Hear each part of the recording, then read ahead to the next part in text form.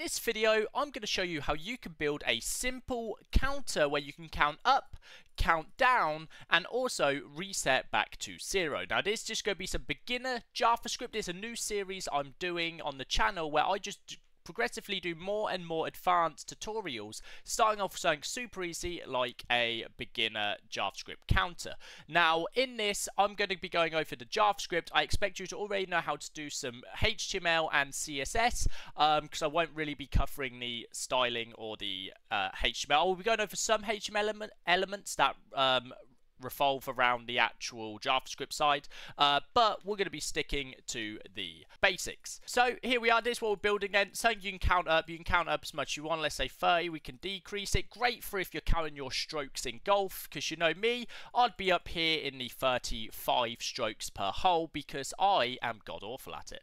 But we have a reset button and a decrease when we want to cheat our way through. So now we've got this, let's actually get over there and start coding. Okay guys, you can support the channel by heading over to my Ko-Fi, the link is down below in the description, and you can get access to the source code for this project in the shop. You can also become a member and get a 99% discount on anything in the shop. So far there's only one source code, but as I do more videos, there'll be more. So if you become a uh, an apprentice on the membership, you will be able to get support the channel, behind the scenes code, and also get access to source code at a 99% discount. So, guys, go check that out if you want the source code, and let's get on with the video. Okay guys, so in here you can see we have a simple HTML file. Now I'm going to go over the basics of this. so far. We have a main CSS linked in. It's over here. I'll go over that in a second. We also have a JavaScript file we're linking, but we currently don't actually have that JavaScript file. So let's create a new file.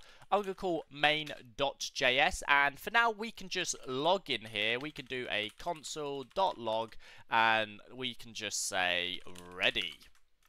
Uh, and then we could test that in a second. Now, inside of here, we have a wrapper div that's containing everything, and the CSS is centering all of this to the middle. We then have a counter, which is basically just our number, which um, we will be incrementing or de uh, decreasing the number inside of JavaScript. We also have the actions. Now in the actions we have three different buttons. All of them have a class of button so we can easily target them. They all have their own color. This is just for visual effect. And then we have this data action and an action inside. Now this is the important part. Um, so inside our button we have the data action. Now, data actions or data attributes allow you to get information into JavaScript from the DOM. So in here, we can say data action decrease. So when we click this button, we can find this action and find what you want to do with this button. And then we can do that inside of JavaScript. Um, and then we've got a data action for reset and a data action for increase. So that is the uh, HTML side of things. Now inside the CSS, we reset everything. I set the wrapper to 100% screen and I use flex to center everything. We then have our counter with a big font size, font weight and a margin bottom. And then in our actions, we use flex again with a little bit of a gap between each button. And then our buttons are down here. So we have buttons, inline blocks with medium font size, 20 pixels, font weight, uppercase, border radius and padding. Again, styling doesn't matter for the actual functionality or the JavaScript side of this. And we also have buttons of Amber. Now, if you want to get this code, as I said, you can get it on Ko-Fi um, in the shop, or you can become a member and get a 99% discount. Also, we can head over to our main.js and get started with the actual code. So let's first thing first, I'm going to use something called um, npx or npm to actually run uh, a live server. Now you can just go into HTML in your folder open this up in File Explorer or if you're on Mac in Finder, double click this and it will show here. You can see the buttons don't currently work. If we press F12 you can see the JavaScript still does work though it has the ready called there. But for to make this a bit easier I'm going to run this on a local server. This just helps me, uh, well it just just helps uh, and I'm going to say live server, and I'm just going to press dot here, and that should run me a nice little server. There we go. You can see that, and now here we go. If we press F12, we have the ready being launched by JavaScript as well. Perfect. So now in here, what we're going to do is we're going to delete the ready, and we are first going to get reference to our counter. So we want to get reference to this counter here. Now to do that in JavaScript, we're going to create a constant variable. Now variables are just ways of identifying pieces of code inside of your JavaScript. So a constant is an non-changeable uh, value. So in here, we can say document. Now the document response uh, is basically the whole HTML or or the DOM element. You'll be hearing a lot of this. If it confuses you, feel free to Google it or give me a shout in the comments and I'll try my best to explain it a bit better. Now we can use something called query selector. Query selector allows you to search for stuff inside of your body. So to search for something in there, we can say query selector and we can pass in a string. So if you're used to CSS syntax, you know we select things by doing the dot notation. Now we can do the exact same thing by actually going into here and doing a dot notation. So we can say dot counter and that's going to find the first element in the DOM so it's going to go down the DOM and find the first element with the class of counter and that is going to be applied to this JavaScript. We can then get reference to our buttons. Now we're going to get an array of our buttons, which an array is a list of all the things you are obviously putting in that array. Now we're going to use the same thing, theory.query selector, but to get every single element with the same class, we're going to say all. Query selector all. And then we're going to say dot button. This will get us all our buttons in an array. Now to show you this array, I'm going to do a console log. Now console log just logs, as I showed earlier, into our um, console here. And if we refresh, you can see Node.js is up here. And you can see if we hover over these, it actually shows us each button in the DOM.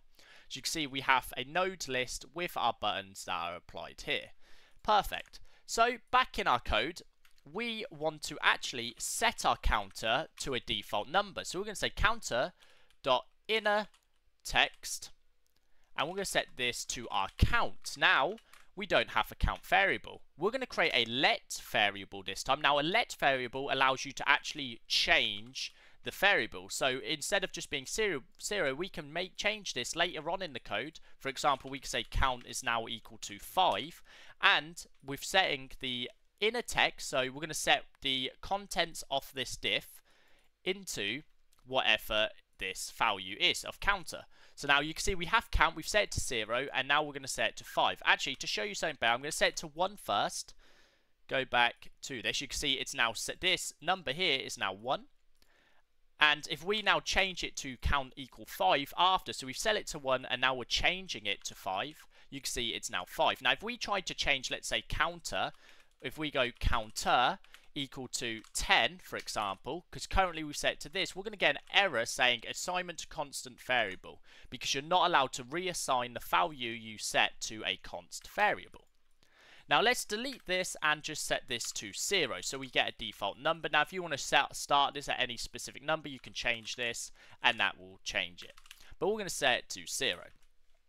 The next thing I'm going to show you is how to loop through an array. So we have an array up here as I showed you. Now to loop through this, to go through each individual item, we can use a for loop. Now to do a for loop, you do the same syntax I'm doing here. So we're going to say let i is equal to 0, and then it's i is less than sign, and we're going to say buttons.length. So this will get us the length of the array. So if there's three items in this array, this will bring back three items. And then we can say i plus plus. So what this will do is we will set our i to 0 and along is the i is less than 0 or sorry less than the length of the array which is 3 we're going to increase the thing and then run this code. So for the first one it's going to be 0 so i on the first way round, i will be equal to 0. When it goes round a second time, it'll be 1 and 2, and then it will stop because we'll check if it gets to 3, this code will not run because i will no longer be less than the length.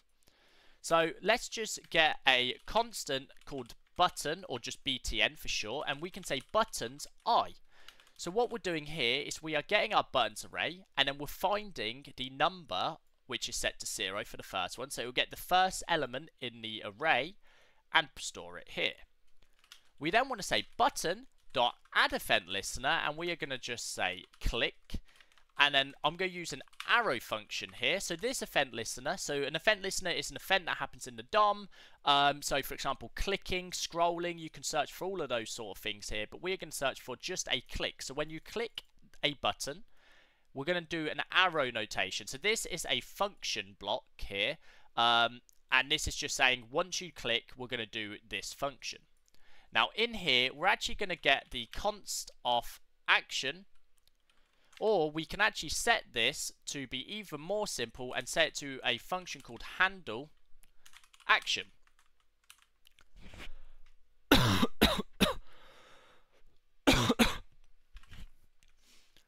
so this will now call this function here.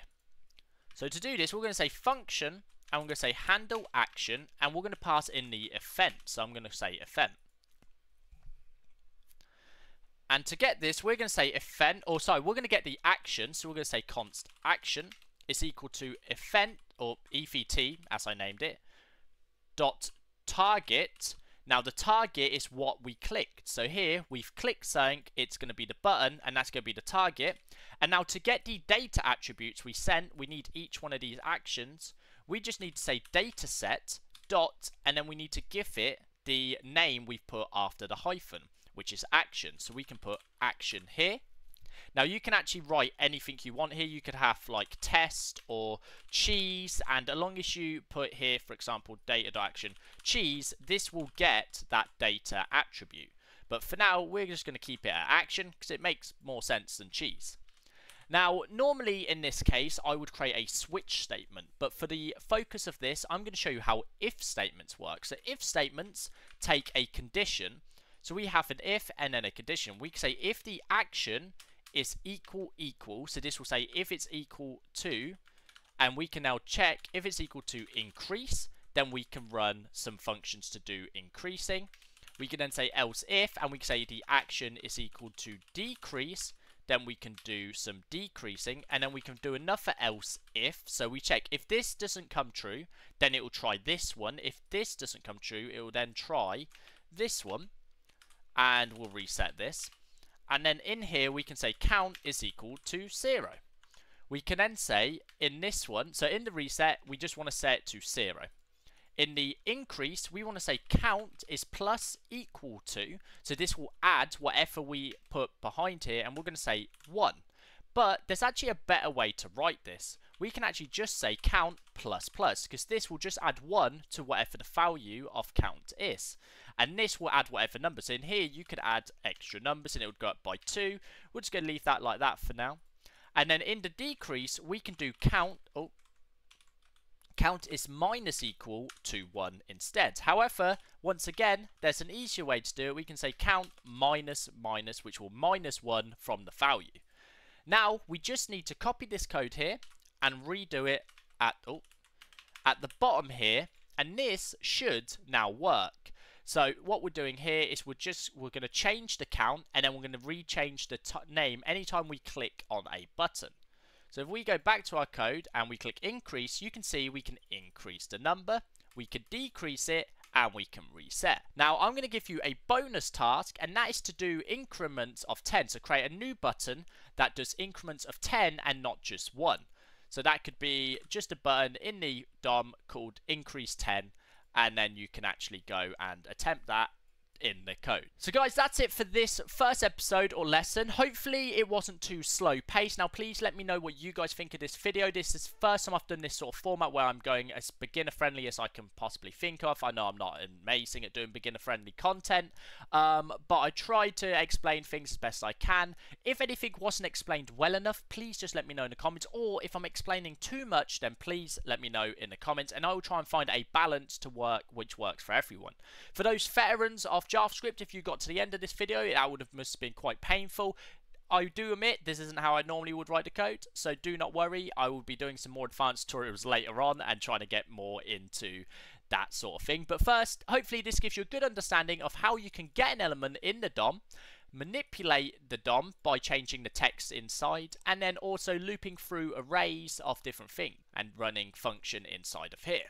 So guys, that's going to be it for this video. I hope you managed to learn something new. If you did, don't forget to leave a thumbs up, smash that subscribe button, and I will see you in the next video. And if you want access to the source code, don't forget to head to the link down below, Ko-Fi, support the channel, and get access to source code. Thank you very much. I will see you in the next one. Peace out.